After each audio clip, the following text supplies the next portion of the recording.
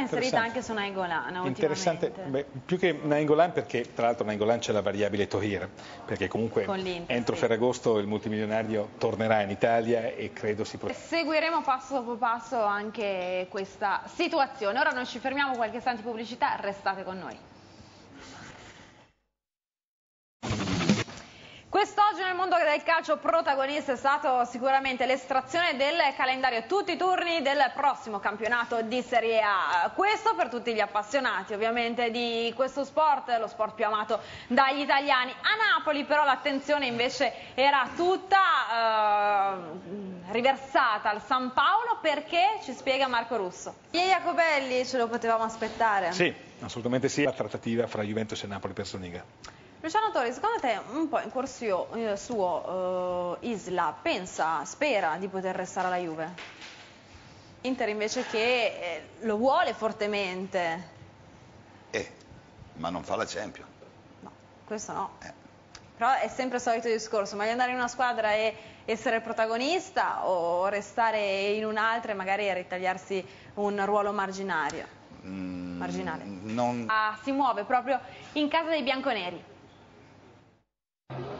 Chiellini non si muove da, da, Torino, noi invece ci muoviamo dallo studio, andiamo in redazione per Marco Russo. Sì, io mm, innanzitutto ricordo ai nostri telespettatori come... E a queste dichiarazioni dobbiamo credere, abbiamo parlato no, di quelle momento... a cui non crediamo. No, no, no, ma in quel porto si potrà muovere perché il Presidente del porto continua, ma fa benissimo il suo mestiere, a dichiarare incedibile Martinez stesso. E allora... Luciano, come andrà a finire? Più soldi possibile e di spenderne meno possibile. Vuole quel giocatore e questo può essere... Scusate, Matri che fine farà?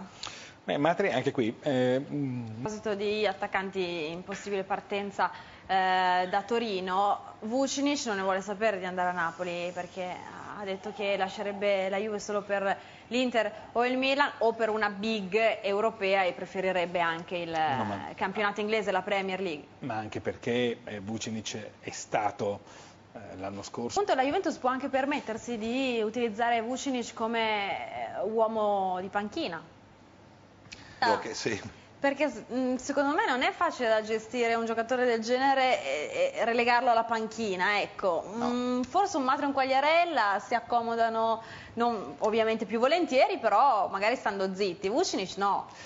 No, ma al di là di quello il problema Vucinic è che secondo me per l'allenatore ha il problema di non essere... Questo sì. Redazione Marco Russo.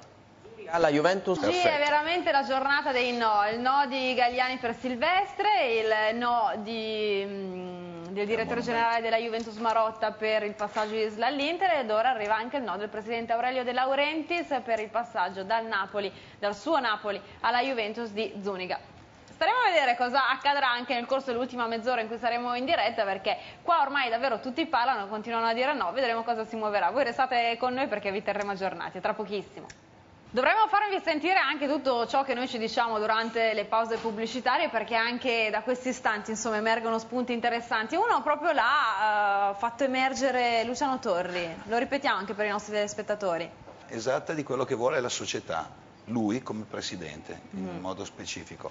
Per cui eh, la strada è tracciata. Sono, sono assolutamente d'accordo, non trovo questa considerazione. Questo era una, un pensiero che sostenevamo già da tempo, sì, perché verrebbe, la Roma... Verrebbe da dire meglio tardi che mai. Dalle convocazioni per la tournée oltreoceano perché convocato Svaldo, tant'è che è con il gruppo giallo-rosso, non convocato invece Destro per ragioni eh, di infortuni e dell'eventuale eh, suo recupero, ma anche Boriello. Quindi l'attaccante in partenza sembra proprio essere eh, l'ex giocatore della Juve, del Milan e del Genoa e perché no? Il ritorno a Genova non è escluso. No, se ne, era anche parlato, ma vorrei tornare un attimino sul discorso Osvaldo.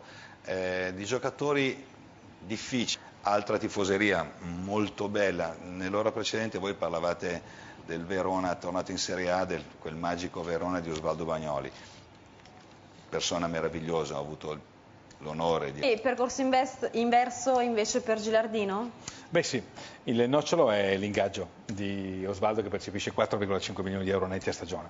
Marco, l'avevamo detto no? che ci aspettavamo un altro no, adesso c'è stato il no Sì, ma guarda, di ci sono, ci sono giornate caratterizzate da una serie di no. Ora, visto che abbiamo parlato della Roma, andiamo anche dall'altra parte della capitale, quella bianco-celeste, con Francesco Tomè, il punto sul mercato della Lazio. E anche Vladimir Petkovic ha commentato il sorteggio del calendario di Serie A. Marco Russo, è così? Ha parlato subito. Ho visto che stavi annuendo. È un grande allenatore, è un grande uomo prima che essere un grande allenatore. Per cui... Però siamo al solito discorso, Matri accetterebbe una proposta del genere proprio nell'anno in cui si gioca la chance per approdare al mondiale? Io accetterei. Sì. Besiktas un giochi in Turchia, non è che sia... Forse Paris Saint Germain ha più visibilità, non credi? No, sono d'accordo con questa valutazione. Il calcio turco.